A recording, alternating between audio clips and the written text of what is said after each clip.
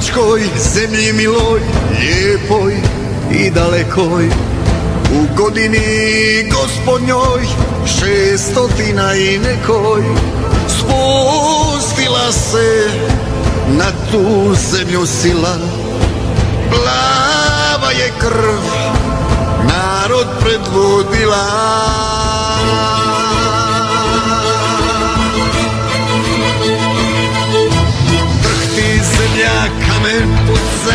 Kroz nebeska vrata.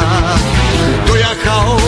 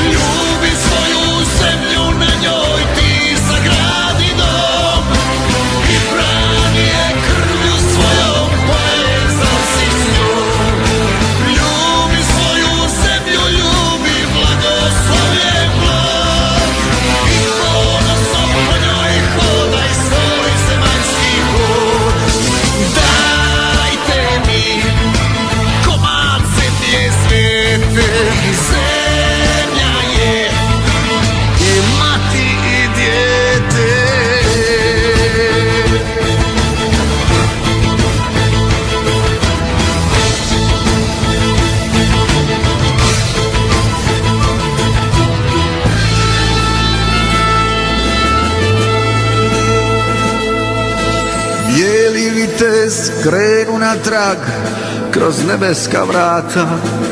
Ostavio lijepu našu bez gladi i rata. Pred nebeskog oca klekne s riječima od zlata. Predao sam zemlju svetu u ruke Hrvata